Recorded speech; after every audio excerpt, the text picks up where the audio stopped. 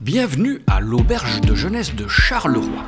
C'est l'heure du petit déjeuner et ici, les clients sont plutôt du genre lève tôt. Absolument, il faut dire que l'aéroport ben, fait décoller en effet nos clients un petit peu plus tôt que d'habitude.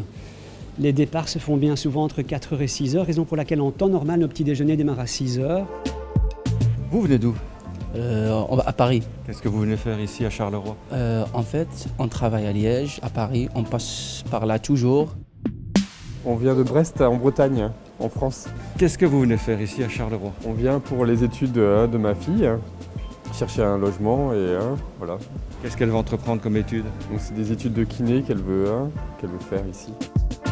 Je me sens bien ici, j'aime beaucoup l'ambiance, c'est très, bah, ça fait industriel, euh, enfin, c'est hyper moderne, j'aime beaucoup. Il n'y a plus de limite d'âge, hein, le concept est complètement révolu. Mais une auberge, c'est bien plus qu'un toit sur la tête, c'est avant tout un lieu de rencontre et d'échange. Toute personne, de toute nationalité, de tout âge, évidemment, peut venir ici partager une expérience.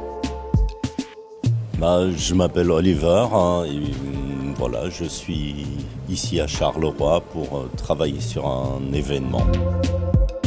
Uh, I'm from Antwerp. And what are you doing here in Charleroi? Uh, we did uh, uh, bivouac, uh, so it's uh, it's free camping, uh, but and it's in the woods, so it was perfect for us. But now we're uh, glad we're here to have some more luxury. Donc nous avons des chambres de deux personnes qui sont des bunk beds, c'est-à-dire le principe du lit superposé. On y met principalement une personne.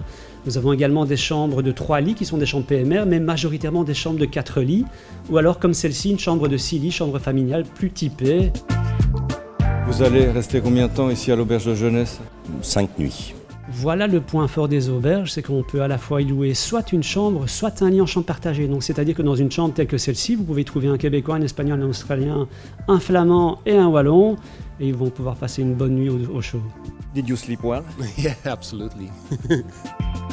On sait que la destination phare en Belgique c'est Bruxelles et reste Bruxelles.